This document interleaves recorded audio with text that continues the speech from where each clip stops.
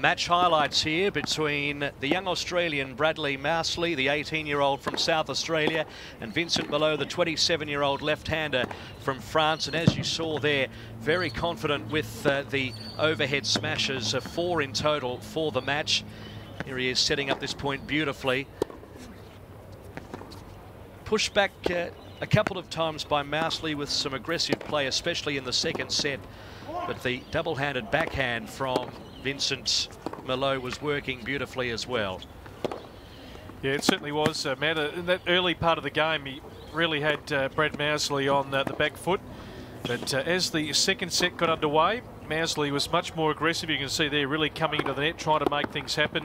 He got the breaker serve, but eventually Vincent Millot was able to steady and uh, gets through in straight sets, 6-2, 6-4 into the uh, second round of uh, qualifying.